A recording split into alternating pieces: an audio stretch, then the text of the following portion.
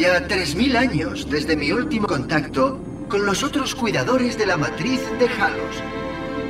A pesar del protocolo de comunicaciones, mis colegas monitores han decidido ignorar, o posiblemente han perdido la capacidad de efectuar las actualizaciones programadas.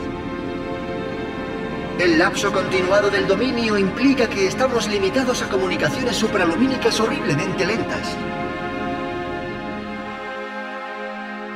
Antes de este cese total en las comunicaciones, los únicos mensajes que recibí en los 4.573 años previos fueron transmisiones incompletas y bastante sorprendentes desde la instalación 05.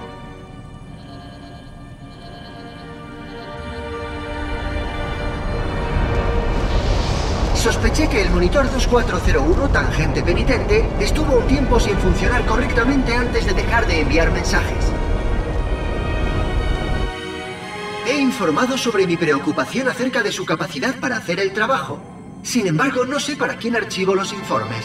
Puede que el destino de 2401 sea la locura. Sé que hay mecanismos de seguridad para esto. Espero que funcionen. Seguiré visitando los sistemas de proyección en las fechas marcadas. Quizá los otros monitores estén sufriendo fenómenos de interferencias galácticas o fallos inesperados en sus sistemas. 3.000 años de fallos de sistema. En realidad. Mientras tanto, he agotado todas las actividades de investigación programadas por el Consejo.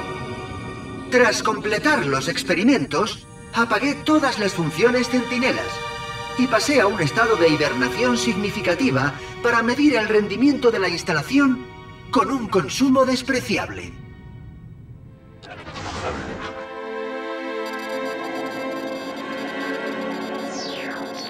Después de 150 años sin impacto apreciable en los sistemas y en la integridad de la instalación, empecé a aburrirme, incluso hibernando.